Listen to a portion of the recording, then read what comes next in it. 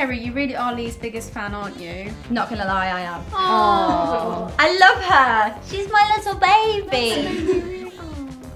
Oh, what? She'll cry now. I know, I'm so emotional wreck. She's a little baby. She needs protecting.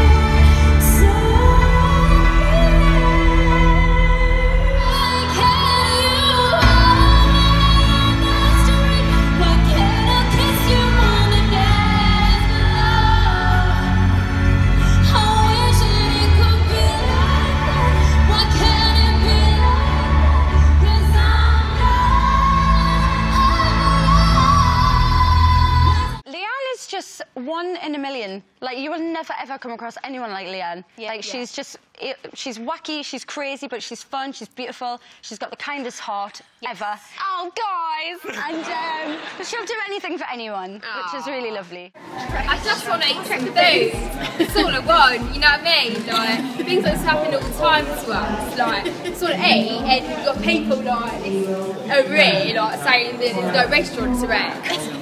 Who could try to hop over their own leg? Oh, I won't do it easy. Oh, oh. Jade, no, Jade, you've got no, the lowest. Wait, let me careful. try. Right, come on, Leigh-Anne. Right. Yeah. Okay, if I do this, you look. Hold her up, hold her up.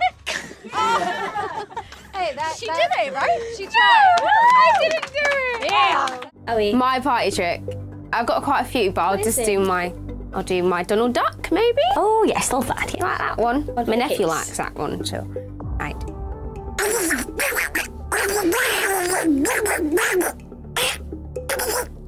Right. Thank you. Who is his favourite member, or is that a bit awkward because they're sat over there? Favourite member is Leigh-Anne. Oh, Leigh-Anne. Oh, I see a little bit of blushing happening.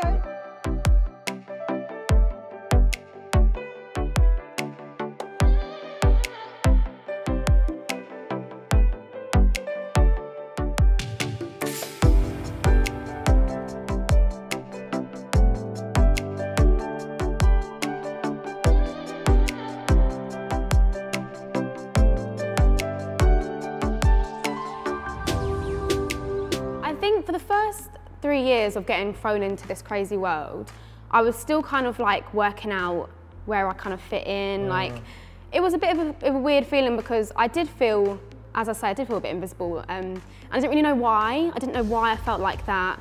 And I, I, I know, it just took me a bit of time to actually process it. And, and I think that what I spoke about um, that was just the way I interpreted it and it was the way I felt. When I spoke about it, I got so many messages just mm. saying how brave I was and it really helped a lot of black girls and like for me, knowing that I did that, I was just ah, like, oh, I'm just, I was just so happy that I did it and it, it almost felt like a weight had lifted off my shoulders. It was a good feeling and I think it needed to be said. It's so refreshing to be able to talk about things that matter.